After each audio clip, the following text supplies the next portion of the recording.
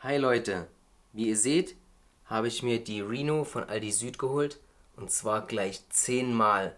Daraus habe ich für euch mal wieder ein schönes Silvesterbrett gebastelt. Und zwar habe ich die 10 Renos doppelt verleitet. Also jede Batterie habe ich die beiden Zündschnüren mit roter Litze verbunden. So sieht man quasi, hier sind 10 Reno, aber es läuft quasi die halbe Zeit, also 15 Sekunden circa.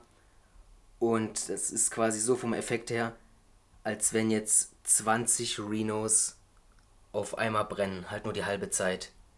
Und ähm, ich hoffe natürlich, dass die Reno dieses Jahr wieder richtig klasse ist und es wird ein Riesenspaß. Freut euch drauf.